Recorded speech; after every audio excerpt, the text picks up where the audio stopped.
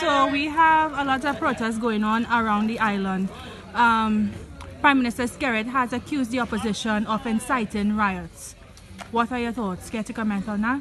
The opposition has incited no riots. Mr. Skerrit is the chief lawbreaker in Dominica. He's a serial violator of the constitutional rule of law. It is as a result of his violation of the constitutional provisions for free and fair elections and the constitutional, the law of Dominica, his disobedience to the law insofar as the free and fair elections are concerned that has us where we are.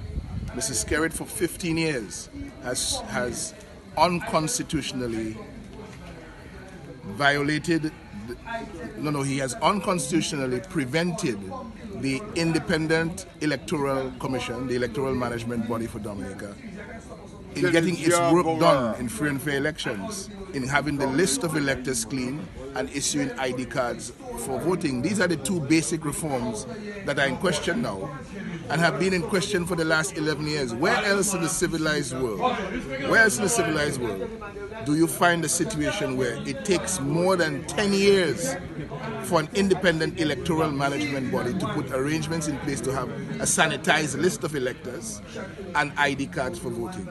I suggest to you nowhere else, but that is the responsibility of Roosevelt Skerrit because he was told in 2008 that it would such reforms would destroy his re-election legacy.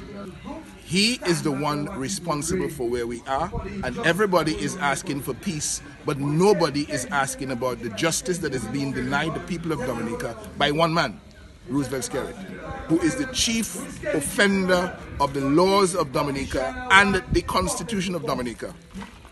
And it has come to this, where especially the young people of the country feel they have to push back against this resistance. They have to push back against not the resistance, but this oppression. They have to resist the oppression.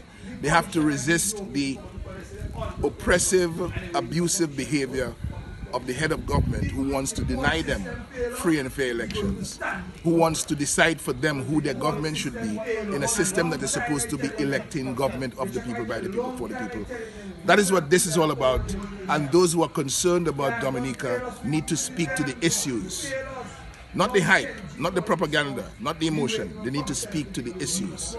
Okay, one more question. What do you think your chances are going into the election? We have good chances going to the election, but we have the deck is stacked against us. We have a government that is not allowing free and fair elections, so we are up against this unfairness on one hand.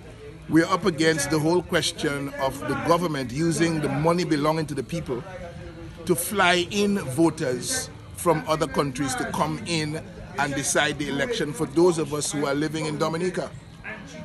If they were allowing everybody to come in and to pay their own passage, that's fine. But the fact that they're doing it for uh, uh, one set of people is bribery, and bribery is against the election laws of Dominica. So you have the Prime Minister involved in an elaborate scheme of bribery to steal the election in Dominica. So we cannot have a fair election, nor can we have a free election on Friday because of all the guns of the regional security system that are here, the guns of police officers, the barricades, the demonstrations around the country, people not being free to move and so on. That's not a free election, nor would it be a fair election. But in contesting the election, we are standing for the best interests of Dominica and hoping that against all these significant odds, we can come through with a victory for the people of Dominica. So a new day will dawn in this Commonwealth of Dominica.